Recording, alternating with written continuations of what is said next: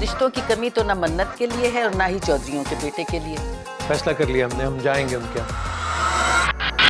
बस मेरे मेहमान है मैंने बुलाया है। अम्मी देखे मेरी बात सुने। नहीं सुननी है मैंने तुम्हारी बात। पहली और आखिरी बार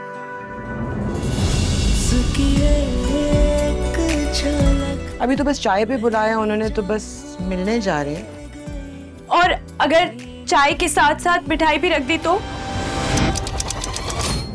वही रंग रूप वही नाक नक्शा वही दबदबा। चित कबरी शेर है मेरा बेटा। हम अपनी लाडली बेटी मन्नत के लिए आपके बेटे चौधरी मुराद का हाथ मांगते हैं।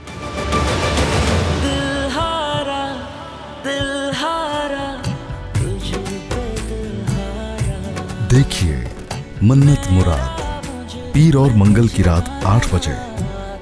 सिर्फ़ जियो पर।